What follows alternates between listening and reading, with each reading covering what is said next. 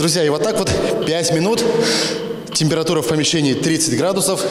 Вот такая тренировка нужна для того, чтобы э, командиры собственные подразделения понимали, насколько готовы сотрудники к работе в задымленных у меня дыхания не хватило. Упражнение называется степ-тест. Имитирует подъем личного состава по лестнице во время пожара. Начальник 4-й пожарно-спасательной части Дмитрий Исаков справился с ним на отлично. Но без дополнительных регулярных тренировок тут никак. Полноценная боевая работа, поднятие на сотый этаж в таком однотонном ритме быстром.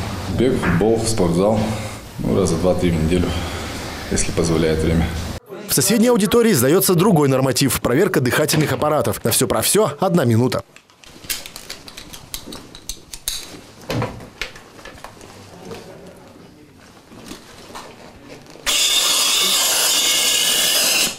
Помимо дыхательного аппарата на сотрудники надет специальный костюм, сапоги, шлем и топор. Конкретно данный аппарат э, будет весить порядка 16 килограмм.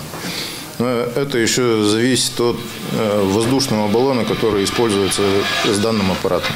Есть воздушные баллоны более утяжеленные. Плюс это порядка килограмм 30.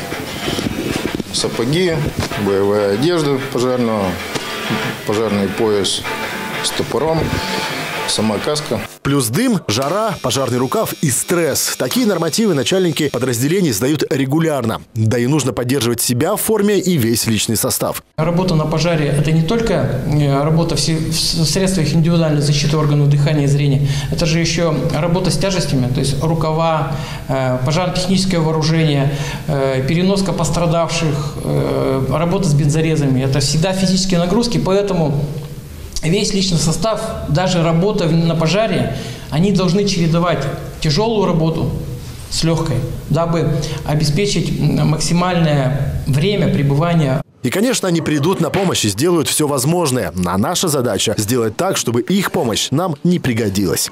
Егор Тверетинов, Александр Наприенков, Ветта 24.